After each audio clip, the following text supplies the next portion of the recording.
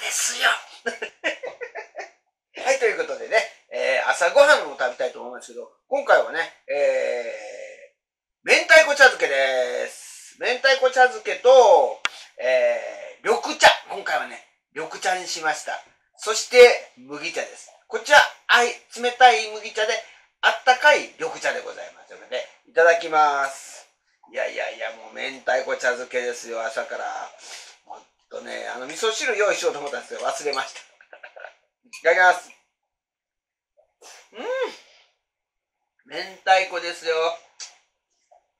うん。おいしい。うん。いやうん。美味しいとしか言いようがない。うん。最高ですね。うん。うん。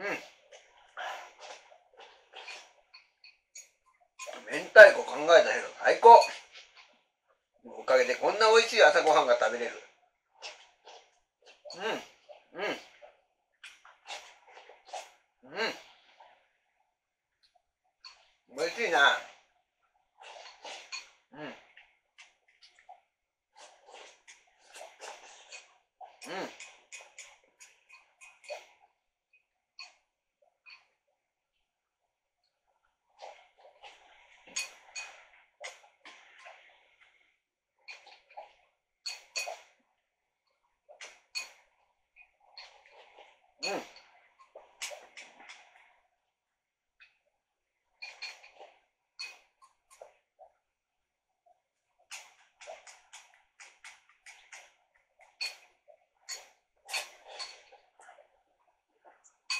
美味しすぎて一気に食べてしまいました。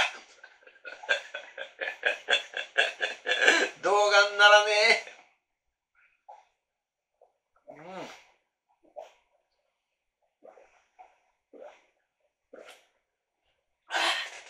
美味しい。やばいね。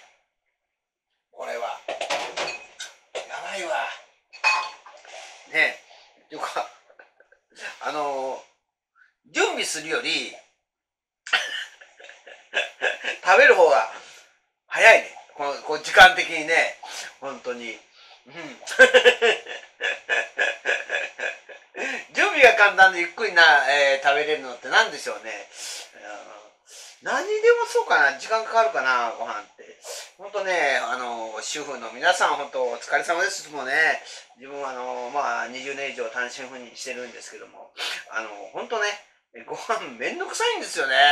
でついつい簡単なものになるんで簡単なものになるとやっぱり栄養のバランスが、えー崩れてね。